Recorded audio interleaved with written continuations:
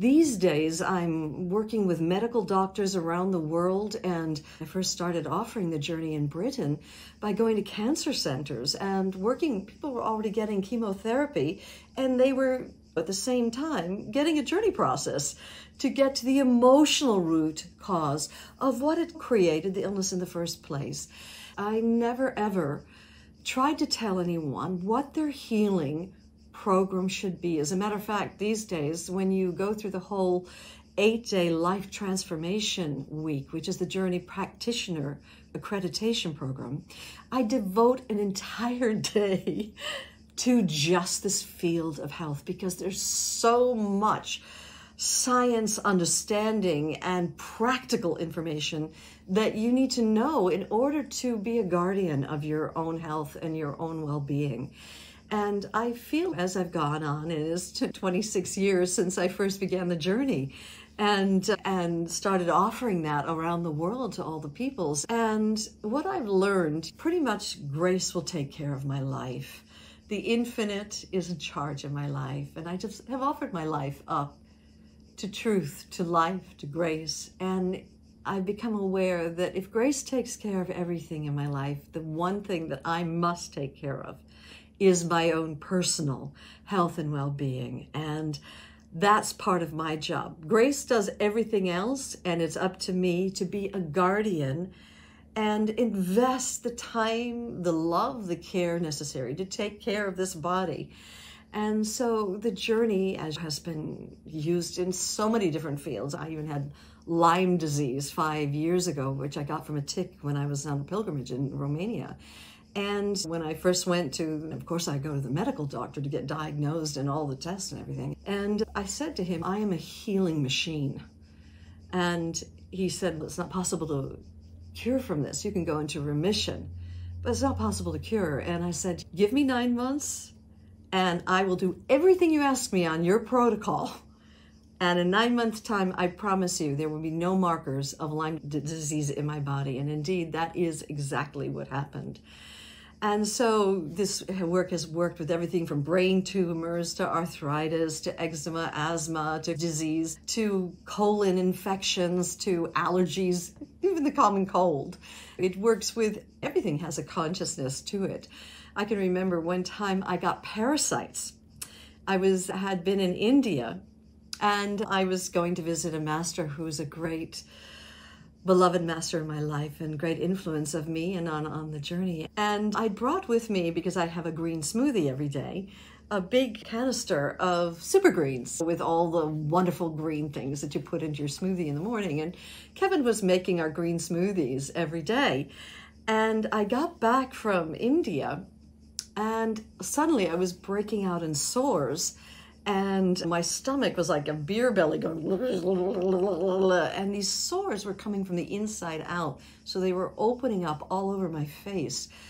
And so i ended up going to a medical doctor who was also who also practiced integrative medicine and we were on maui at the time and he said, and what had happened is I'd looked into my little canister of green powder. And when I looked down to make a green smoothie that morning, I'd noticed that it started to move. The powder started to move. And of course, there were parasites in there. And so I went to the doctor and he said I had virulent parasites and that it was very dangerous, that because it was from India, that I might have to go to a tropical medical clinic. And I said, in please, can you prescribe herbs for me, the strongest that you've got? Because obviously this was something coming from the outside going in. I couldn't say that's an emotional thing. I could see in, in my in living color that there were these things moving in my um, green powder.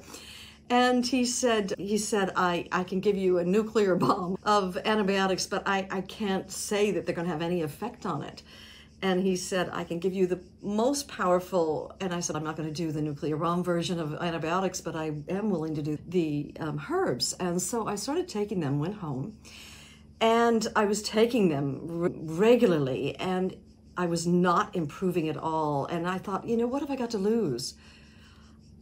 I'll do a physical journey, even though this is something that's come in from the outside. And sure enough, when I got inside, I had a cell memory of a parasitical consciousness that I'd invited into my own body. And long story short, I had been in Britain prior to that, and there was a businessman who had this big healing happen with the journey. And he invited me to come to Britain, and I ended up doing 28 introductory workshops in cancer centers all over Britain and agreed to do two journey intensives with him. And at the end of all this time I was there in Britain for three months, we'd agreed that I would get a small speaker's fee. And then at the end, after all expenses were paid, that I would then, we would split whatever was made from these two journey intensives.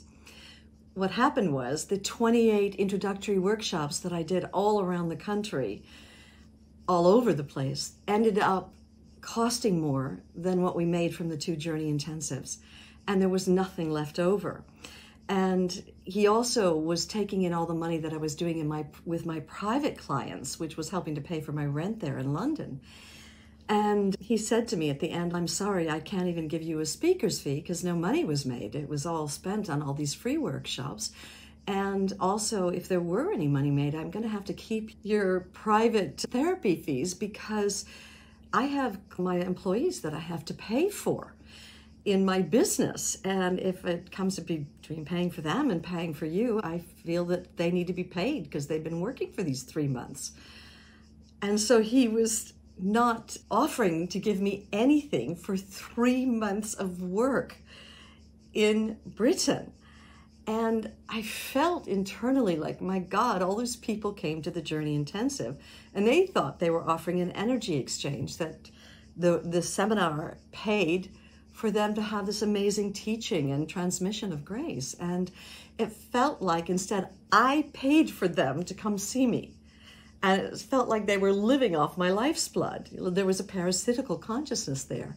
So, in, in bottom line, I finally did the journey process, and this is the cell memory that I uncovered that I'd almost created a hotbed inside of myself. Said, "Anyone who wants to live off of me, come one, come all." And sure enough, the parasites were living off of me. But here's the interesting bit Kevin was having the same green smoothies. In fact, he was making them every day. He did not get parasites. Why? He didn't have a parasitical consciousness. I was the one who felt I was being lived off of.